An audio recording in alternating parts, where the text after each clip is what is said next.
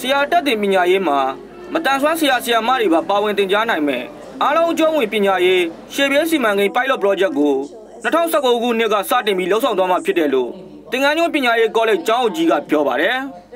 ရန်ကုန်နဲ့မန္တလေးကလာမယ့်နှစ်စတာအပိုင်းလော်ရှိဟုတ်ဒီတင်ရိုးစမ်းတာ2020မှာတော့ကျမတို့ကောလိပ်25ကျောင်းလုံး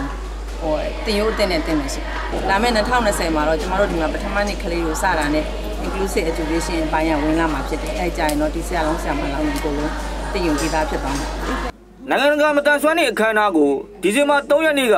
တင်ငန်းညွန့်ပညာရေးကောလိပ်မှာကျင်းပခဲ့ပြီးအဆိုပါအခမ်းအနားမှာပြောခဲ့တာပါဖင်လန်နိုင်ငံအစိုးရဩစတြေးလျနဲ့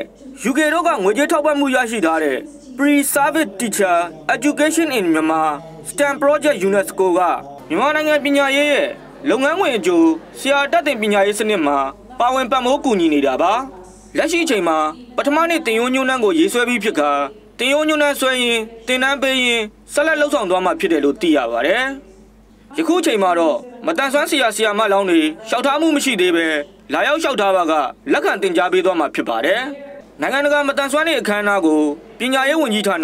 UNESCO နဲ့သက်ဆိုင်ရာတာဝန်ရှိသူတွေအပြင်ဖင်လန်နိုင်ငံကမတန်ဆွမ်းအမှုပညာရှင်ဆိုင်းမတ်ရဲ့ပညာရေးအတွက်ကြောင့်မျှဝေခြင်းနဲ့ဂီတတင်ဆက်မှုတွေလည်းပါဝင်ခဲ့ပါတယ် ကျွန်တော်သတင်းတော့မိုးမြင့်စောပါ